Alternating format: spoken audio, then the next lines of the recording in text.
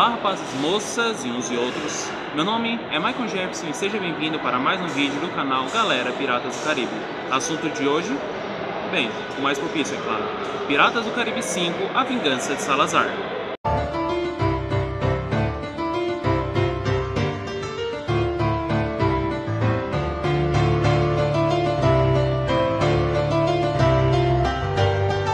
Aviso desde já que esse vídeo é para você que já assistiu o filme, pois possui alguns spoilers. Caso você não se importe com spoilers antes de assistir o filme, pode assistir normalmente, mas depois não venha reclamar nos comentários. Agora, sem mais delongas, abrimos as velas, recolhemos a âncora e zarpamos para o vídeo. Primeiro você deve estar se perguntando, será que o filme é tudo isso que realmente a Disney tentou promover durante todos os trailers? Sim e não. O problema que a Disney cometeu durante esse filme é que ela acabou mudando muitas das partes anteriores que foram mostradas nos outros filmes. Por exemplo, como eu contei em outros vídeos, o navio do Jack, o primeiro deles, era o Rapariga Ma, que foi dado para ele basicamente pelo Lord Cutler Beckett, que naquela época não era Lord. Mas pela história que é apresentada no filme, aparece que o Jack na verdade servia a um outro pirata e quando esse pirata foi morto, ele passou a bússola dele, que também sabemos que não é de natureza humana normalmente, foi dada para ele pela, para ele pela deusa Calypso, ou no caso a tia Dalma, como ela retrata em Piratas do Caribe 2. Mas voltando ao assunto, eles falam que o navio dele foi dado a ele por um capitão pelo pelo capitão ao qual ele servia, que lhe entregou tanto o comando do navio quanto a sua bússola. O que, na minha opinião, é como se eles pegassem os três primeiros filmes e rasgassem miseravelmente a história. Um outro ponto também é a peça que Jack tem pendurada na bandana.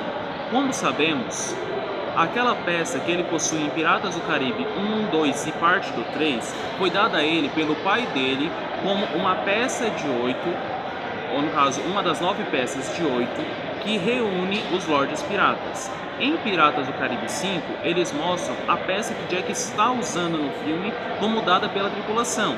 Eu não sei se eles quiseram dizer que Jack o tempo todo guardou aquela peça e logo depois de perder a peça que ele apresentava em Piratas do Caribe 4, ele resolveu colocar a peça dada a ele naquela época, ou se realmente eles esqueceram dos primeiros filmes e distorceram a história. Mas como eu falei em um outro vídeo, teríamos a volta nesse filme de alguns personagens que já conhecemos e realmente eles apareceram.